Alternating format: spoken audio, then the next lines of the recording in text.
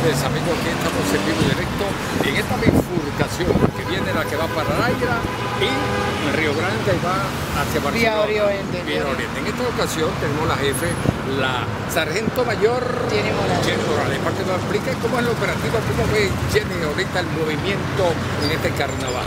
Ok, hasta los momentos hemos tenido bastante afluencia vehicular eh, de este, conductores que van, temporadistas que van hacia la vía oriente y hay bastante retardo vehicular motivado a que se está haciendo el recobat, el reductor de velocidad, con el fin de que no haya, eh, a- eh, eh, haya personas con velocidad alta, ¿verdad? Bajar la velocidad y entonces se hace un retardo con el fin de que no hayan accidentes de tránsito. En relación a las personas que van, que por alguna razón consumen, que no deben hacer licor, que alguna forma, ¿cómo lo miden bueno, nosotros tenemos aquí un, este, el alcoholímetro o alcotex, ¿verdad? Le, detectamos si tiene el grado de alcohol en su cuerpo, esa persona se aplica este, la sanción correspondiente, en este momento se, se detiene el vehículo, el vehículo va para el estacionamiento, la persona este, se le hace una sanción eh, por 10 unidades tributarias y el vehículo se entrega el día miércoles posteriormente,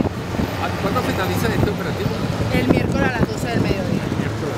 Mira, y en relación a algunas personas que por alguna razón no quieran o que desconozcan una disposición del dentro del organigrama jurídico, que las prohibiciones, ¿quiénes nos pueden transitar en esta vía?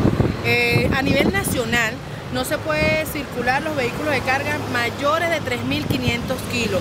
Desde el día de ayer, eh, 4, a las 12 del mediodía hasta el día miércoles a las 12 del mediodía no puede circular a nivel nacional ningún vehículo mayor de ¿Y quiénes 300, pueden- 3.500 kilos. ¿Quiénes pueden entonces circular con eso? Los vehículos de alimentos perecederos, eh, nada más.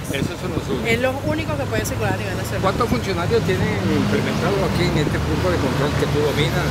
Aquí exactamente en Río Grande, que estamos en esta jurisdicción, estamos 16 funcionarios ¿Ha actuales. habido algún accidente así lamentable? Gracias a Dios no hemos tenido ningún accidente lamentable hasta la hora. ¿Alguna- Y esperemos que al terminar nosotros nuestro operativo no tengamos que lamentar ningún accidente de gran magnitud ni que tengamos este, personas lesionadas y muertas. Eso es lo que estamos logrando, estamos tratando de lograr y esperemos que sea un éxito nuestro operativo, porque mientras no tengamos muertos y lesionados, es un éxito para nosotros porque se, se está viendo que la gente está concienciada. Es un supuesto negado que una persona se accidente ahorita en este punto que vaya vía para Caucabo Oriente, algún teléfono de ayuda.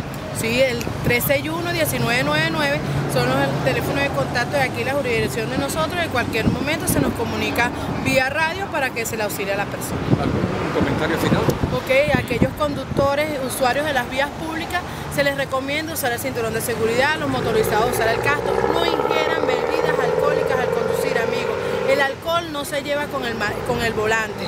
Y aparte de eso, no llevemos niños menores de 10 años de la- en la parte delantera del vehículo. No eh, respetemos las señales de tránsito, bajemos la velocidad, del apuro, lo que nos queda es el cansancio, amigo. Respeta las señales de tránsito, quiere tu vida y quiere la gente que está alrededor tuyo. Bueno, muchas gracias, Jenny. Gracias. Vamos a ver si sale ahora el mismo para radio.